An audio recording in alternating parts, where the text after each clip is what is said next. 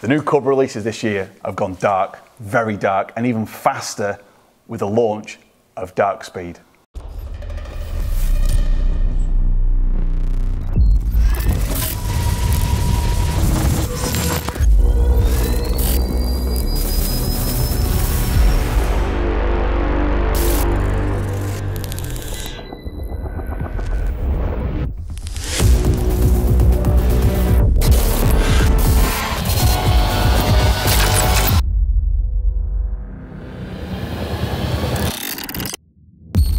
So 2023's offering from Cobra have gone big and they've gone fast, or so they claim.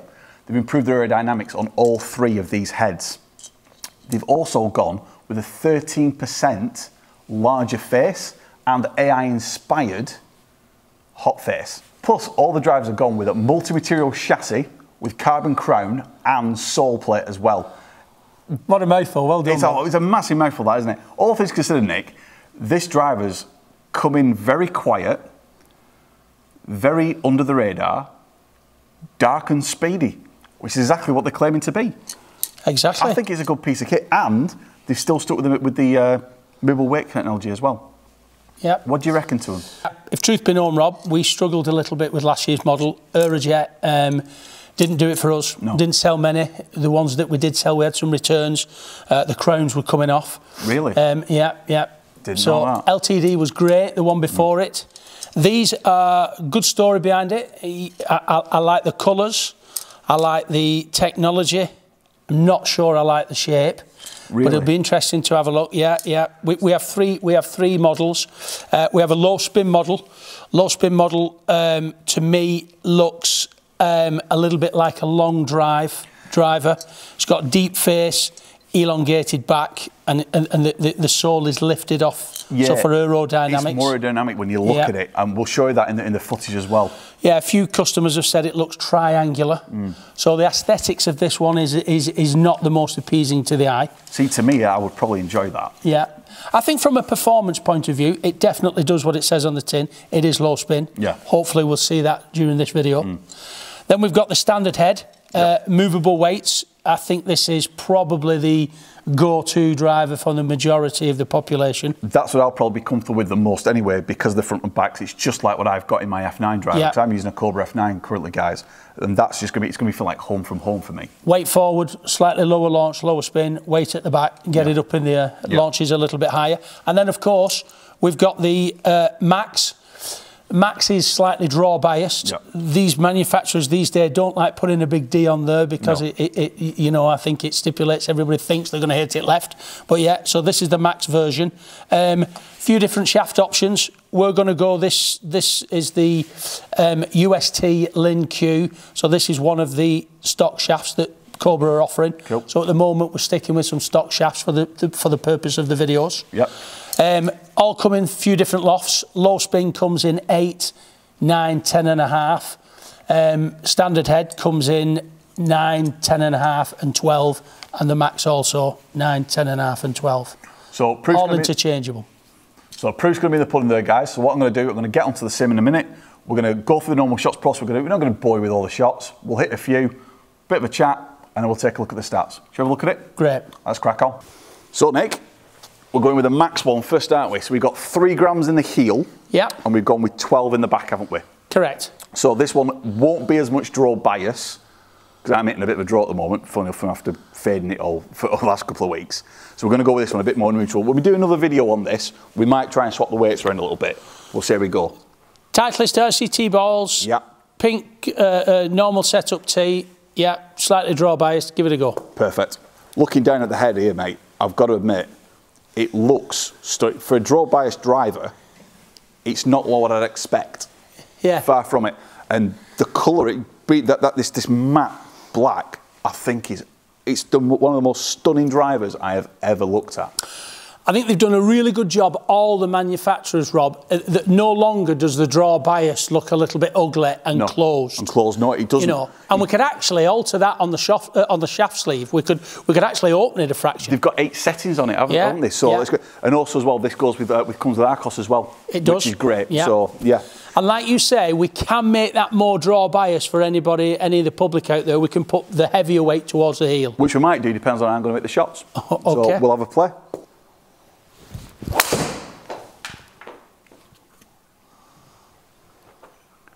Well, I'll tell you what, mate. That was all right. For accuracy, You'd take that first shot of the day, wouldn't you? uh, y- your first shot of the day all day long.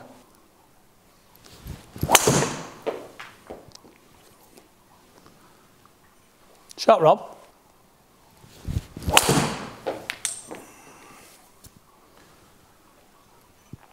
Nice, Rob. What I like about it is that it's not got.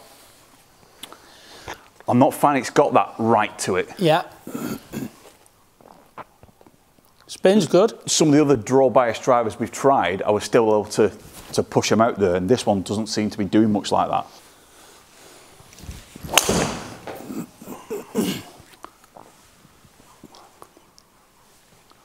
Right, mate.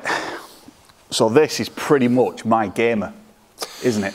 Yeah, this is this is I would class this as the standard head. Yeah. I, I think this is going to be the, um, I, I think this is going to be the main contender. I think we'll sell more of these than the other three, other two models. Yeah. So we've got this one weight at the back, 12 grams Yeah. at the back, three at the front.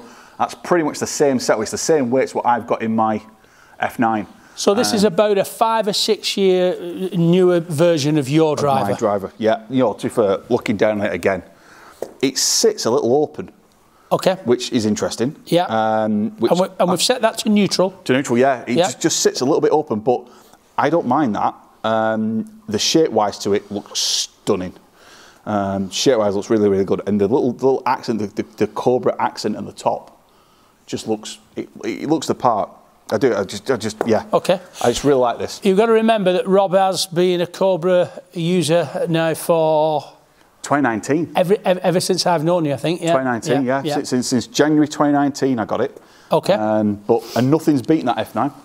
Here we go. So let's see. Shot. Great shot.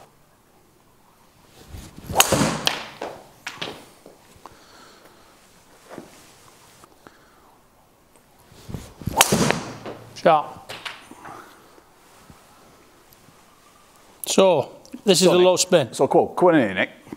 Right. So talk to me. We're quickly going to talk about this one. So we're now in the LS version. What's different with this? So we have a neutral weight, what, what I would say is slightly heel biased. Hmm. Yeah, we've got the two lighter weights in the in the fade and, and right at the back. Obviously, with this driver, the weight's designed. If the weight's pushed further forward, should on paper give us the lowest launch and lowest spin. Because that's what interested me there. I thought it would have been two stronger weights at the front, Yeah. a lighter weight at the back Yeah. to make it more lower spin. But having the the weight more heel balance, it's not right at the heel. It's in a shape No, way of form. yeah. But having that that what class as neutral weight more in the heel than the heavier one, I'd have honestly thought that would have been And this is factory settings, so we're not playing around with No. this. Obviously, you have got the adjustability. and We've also got heavier and lighter weights that we can we can move about if need be. But this is factory settings. So that we'll do in another video. But this is, it, it's, in terms of aerodynamic wise, it's so much more aerodynamic looking at the, the front end of the, the actual club itself.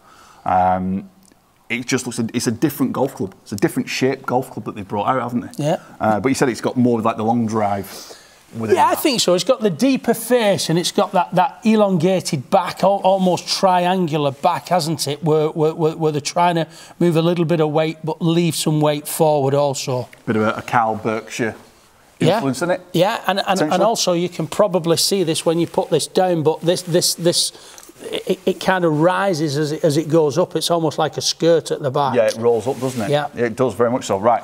Going to be interesting in that. See if I can get my inner Kyle Berkshire. now, as you were saying with this one before, Nick, looking down, it's more elongated and more like triangular.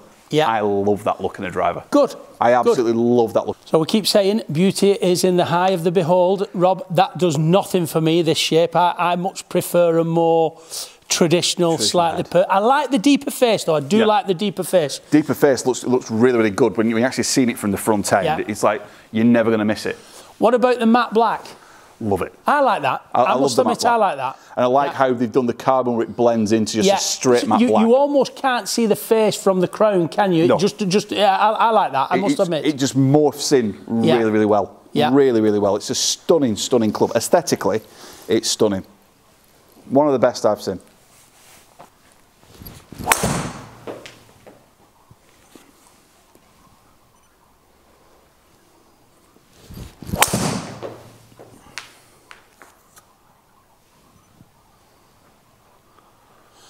Rob, that's one of the best shots I've seen you hit in, in weeks.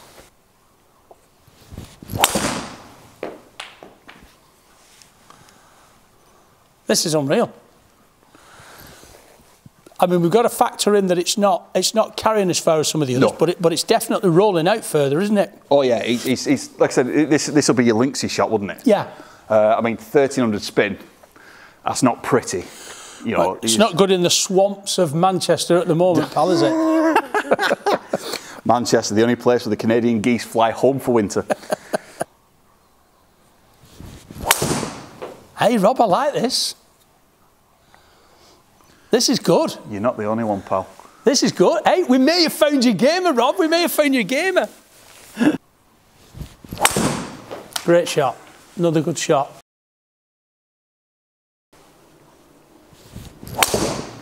Shot. Right, Rob, well done. Finished our, we completed our little testing session. Um, we've got uh, three new Cobra heads. We've, we've, we've tried the Dark Speed Max, the standard Dark Speed, and the low spin. And then also we've included in the Your Gamer.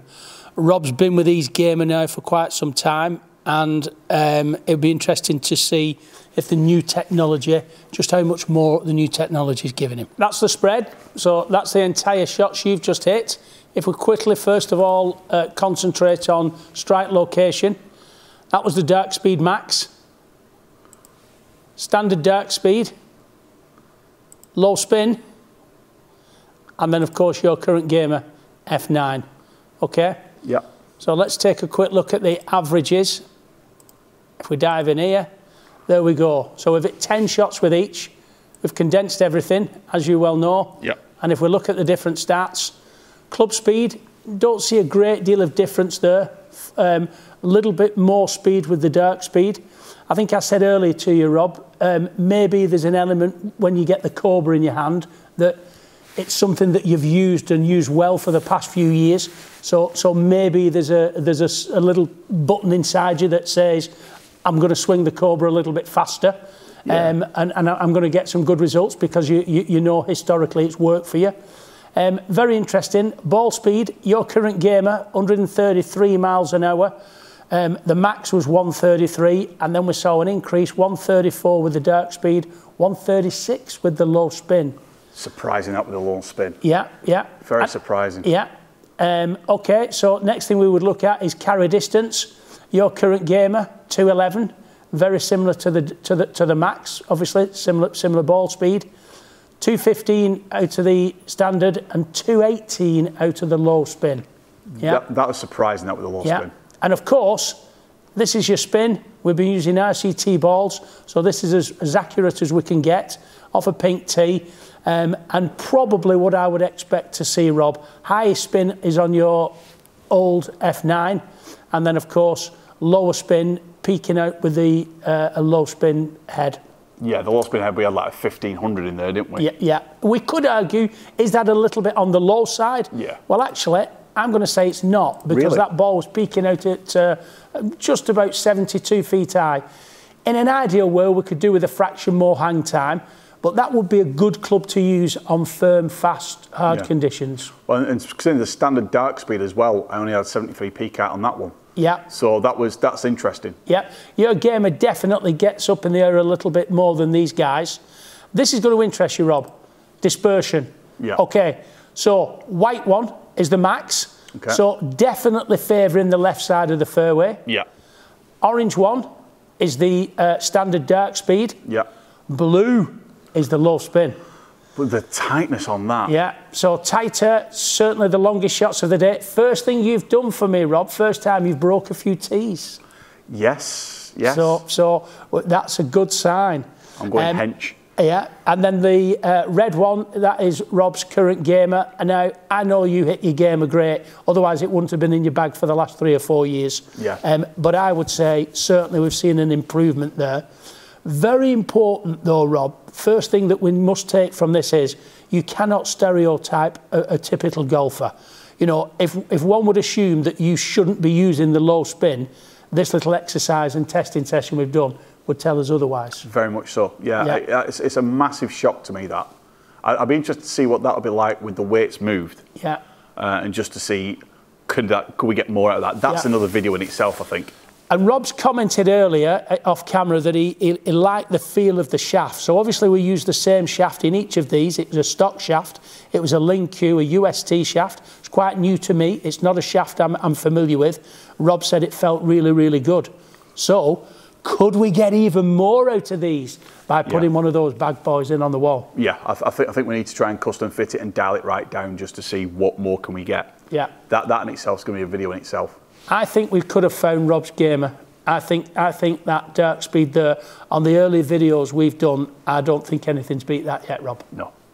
There you have it, guys. That's the dark speed done. And to be fair, it's one of the few manufacturers that you can say has done what it says on the tin. It's a quick driver.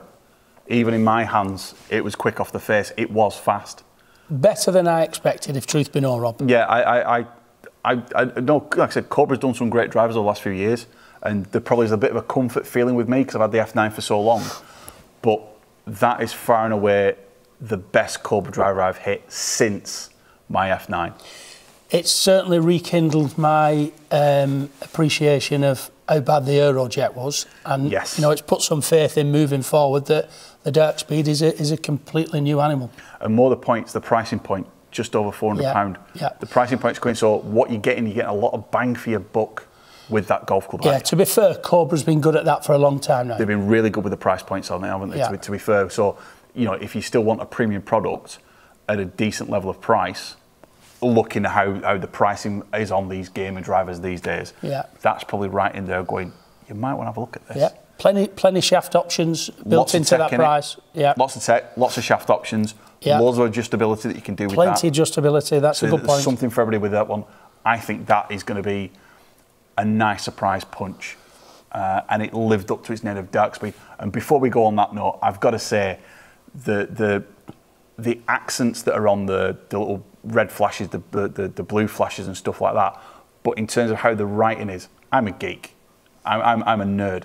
There's got a hint of Star Trek writing in that. And how they've done Dark Speed. Bit of Wrath of Khan for you Trekkies out there. Brilliant.